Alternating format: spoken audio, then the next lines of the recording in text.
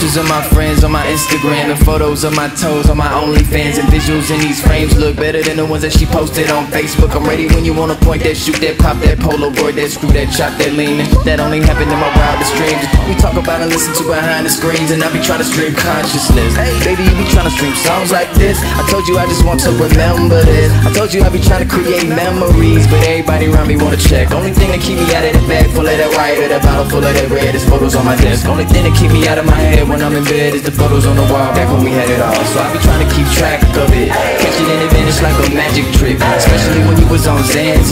Hopefully I don't even understand that shit and understands I'm up after my homie manager making sure that they pan us. I'm just a natural when it comes to picking the plans up, and I'm only 25 G's. Tell that bitch to take a picture for the photo ID.